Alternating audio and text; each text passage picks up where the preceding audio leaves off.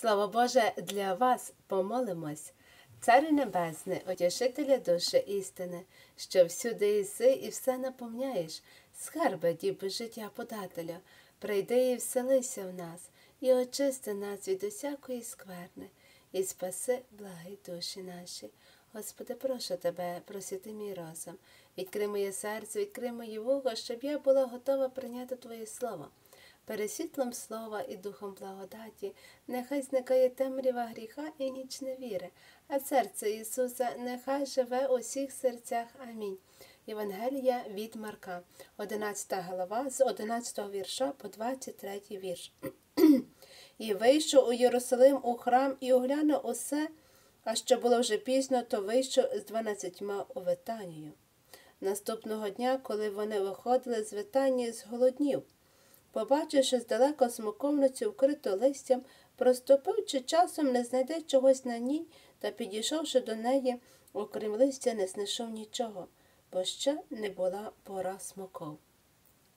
І, озвавшися, промовив до неї, нехай ніхто повіки не споживає плоду з тебе. А учні чули це. І приходять вони в Єрусалим, і, війшовши у храм, Ісус взявся виганяти тих, що продавали і купували в храмі, перекинув столи міняю та ослони тих, що продавали голубів, а й не дозволив, щоб хтось будь-що переносив через храм. Навчав він їх і казав їм Хіба не написано дім мій домом молитви назоветься для усіх народів?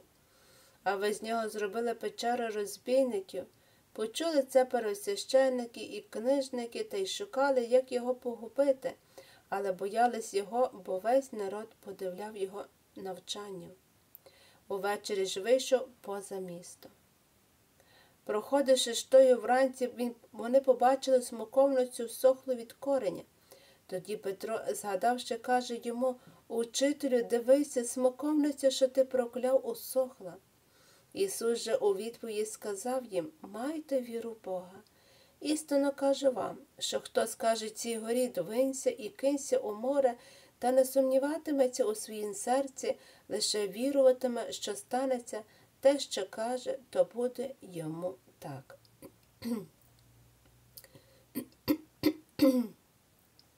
Бачимо, що сьогодні Ісус говорить про силу молитви.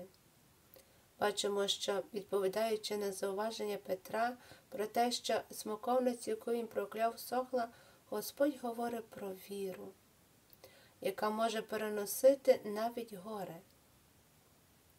Але тут не йдеться про те, що нам слід займатися перестановкою гір з місця на місце. Нехай вони собі там стоять, де їх поставив Творець. Господь хоче учнів показати, що, і, щоб ми побачили і запам'ятали, що саме є віра, є основою сили, через яку ми беремо участь в Божому творінні. А якою є моя віра, якою є твоя віра? Господь говорить, якщо ми віримо, то те буде нам дано. Коли ми говоримо про віру, маємо на увазі не тверду впевненість існування Бога, а довіру до Небесного Отця має бути стосунок з Богом Отцем. Які мої відносини є з Богом? Чи мої відносини є тверді і сильні, чи вони похитаються? Для спілкування з Богом, для щирої молитви нам необхідно перебувати у правді. І тому Господь далі говорить учню про прощення, тому що дар у віри правді реалізується, якщо ми просимо у Христа прощення наших гріхів і прощаємо самі, якщо ми шукаємо любов Небесного Отця і любимо ближніх. Господі, Господи, хочу тебе попросити, щоб Ти мені дарував ласку більшої віри, більшої довіри до Тебе. Хочу йти Твоєю дорогою, хочу свідчити про Тебе тим людям, які я буду сьогодні зустрічати. Навчи мене довіряти тобі моє життя. Амінь.